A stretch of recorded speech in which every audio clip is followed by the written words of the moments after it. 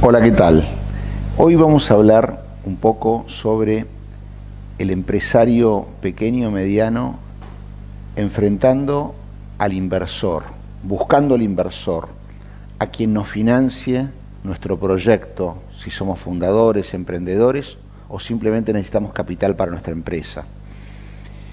Eh, esto es lo que se llama el arte de la inteligente seducción, en cierta medida.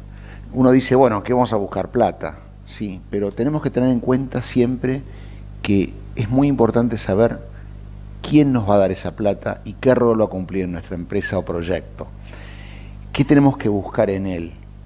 ¿Cómo tenemos que interpretar a esa persona para que no se transforme en lo que a veces llamamos el inversor enemigo? Estamos hablando desde ya de lo que es salir del dinero de mamá y papá, ¿eh? que nos prestan los amigos, los tontos, los que confían en nosotros. Eh, entonces tenemos que pensar que ese inversor es alguien que hoy nos da la plata, pero mañana va a votar, va a hablar, nos va a frenar nuestro proyecto. Y acá es muy importante saber qué le vamos a dar a cambio del dinero que nos dé. Es muy importante también que quienes vengan después a nuestra empresa pregunten quién más invirtió. Entonces, eso habla de la reputación del inversor. Es otro tema importante. ¿A quién traemos? Y que nos abra puertas para cuando necesitemos más capital para crecer.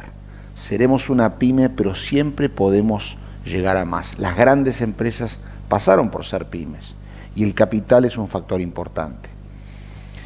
En cierta medida, cuando analizamos a quién tenemos enfrente, tenemos que buscar un poco a esa yegua madrina que tenía la campana y atrae a las otras para que la sigan. ¿Eh? Lo que unos llaman, los, los sajones llaman el bell cow, ¿eh? a la vaca que tiene la campana.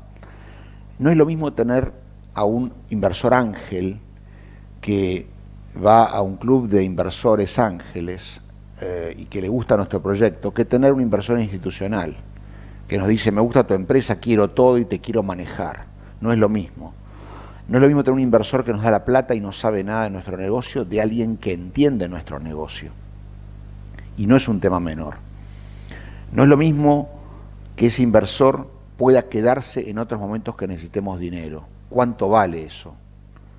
¿Eh? En cambio, un inversor enemigo es un inversor que nos puede hacer perder el tiempo, que nos demora, que nos tiene angustiados de si nos va a dar la plata o no hasta el último momento, es inexperimentado, o tiene mala reputación, o nos quiere imponer sus técnicas de gestión que son nuestras, porque nosotros somos el empresario, nosotros somos el emprendedor.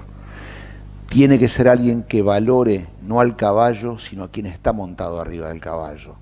Y nos tiene que valorar como personas y nos tiene que dejar las manos libres para trabajar. Al mismo tiempo nosotros darle confianza de que no vamos a gastar su dinero en cosas que no corresponden. Por lo tanto, lo que tenemos que pensar es en alguien que además del dinero nos agregue valor al negocio, nos pueda volver a dar plata, conozca nuestra industria, nos ayude, nos haga pensar, nos haga de sparring, y que pueda seguir participando en el futuro de nuestra empresa y ser un buen socio que cuando vote o nos diga que no, vale la pena que nos diga que no. Ojalá que estas ideas nos sirvan para enfrentar mejor la capitalización de nuestro negocio.